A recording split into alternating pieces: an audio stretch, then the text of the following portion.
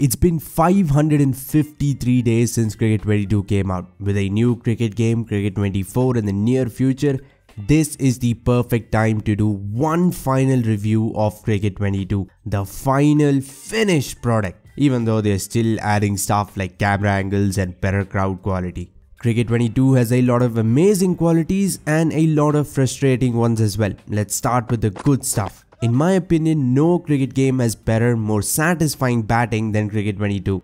It has an endless amount of shots, the difficulty is just right, challenging but still not completely unfair. You still have to create a custom difficulty because the hardest difficulty in the game is very hard which is great but the problem is some shots are just too risky. Cover drives, cuts, advanced shots, even unorthodox shots like sweeps and reverse sweeps are less risky than cover drives and other traditional shots which makes less than zero sense. How can a scoop be safer than a cover drive? One of the biggest problems with batting is getting caught behind. If you play any shot on the offside, you will nick the ball to the keeper or slips. It doesn't matter if it's against spinners, if the ball is a half volley. I mean, batsmen regularly edge full tosses. I don't even know how that is possible. So it becomes a game of only one side. You have to play all your shots on only the leg side, which of course gets really boring really fast. The strange thing is this happens only on the hardest difficulty so if you're a new player you will love batting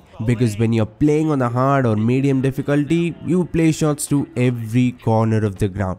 Since the game's release, Big Ant have improved certain things with batting, cut shots have become useful, unorthodox shots are not as overpowered as they used to be but they can for sure improve a lot more, especially when it comes to giving every shot the right amount of risk and reward. Cover drive should be a very safe shot, at least in ODIs and T20s. There are shots all around the ground, 3-4 different types as well, aggressive, push shots, chip shots, lofted and advanced shots. Each have their advantages and disadvantages. For example, chip shots have perfect placement but very little power. Lofted shots are very powerful but sometimes they don't go exactly where you want them to. If you try to loft the ball straight, you might end up hitting the ball to long on and getting out. That is the reason you will play Cricket 22 for hundreds of hours. There is so much stuff and there is also the difficulty. You'll never be able to play on the hardest difficulty plus sliders to make the game even harder. Click the icon on the top right to see how hard it truly is.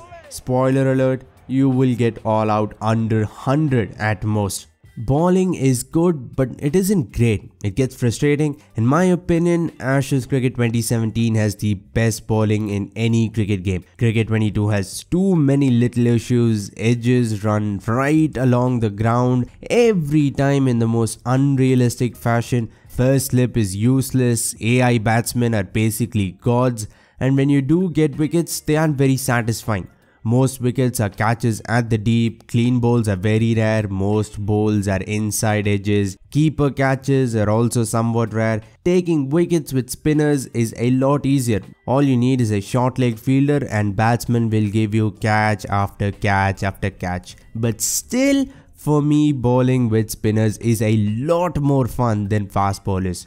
Cricket 22 gave us a new fielding minigame for direct hits which is very basic and makes runouts way too easy but it's fun. Same with the catching minigame, basic but it's good enough. The problem with fielding is everything in between. Keepers are slower than 80 year olds, fielders have a nice nap before throwing the ball. Instead of collecting the ball near the stumps, bowlers will run towards the ball for no reason all of that is frustrating and you will miss so many runouts because of this. Even when batting this happens, then it is funny but still it makes the game feel far less realistic. The biggest improvement in Cricket 22 since launch is graphics. I think Big Ant have consistently improved how the game looks. The biggest graphics improvement came a month ago. I don't know if it was a patch update or something, but suddenly the game looked awesome. Crowds look like a group of people instead of cardboard. Lighting seems much better. They even have added a bird's eye angle of the ground that is new as well and pretty cool. Overall, if you want a good looking cricket game, Cricket 22 will not disappoint one bit. These patches are probably Cricket 24 stuff that they are adding to 22, but seriously, keep doing this, Big Ant. So, should you buy Cricket 22 in 2023? Absolutely. It's half the price of Cricket 24 which hasn't released yet, nor do we know its release date and I think that the game will be buggy at launch. So either buy Cricket 22 now or wait for Cricket 24, see if it is any good, then you can decide. I haven't talked about the career mode because it hasn't changed at all, but if you want to hear my thoughts, check these two Cricket 22 reviews on the screen that I made when Cricket 22 first came out and then 6 months later.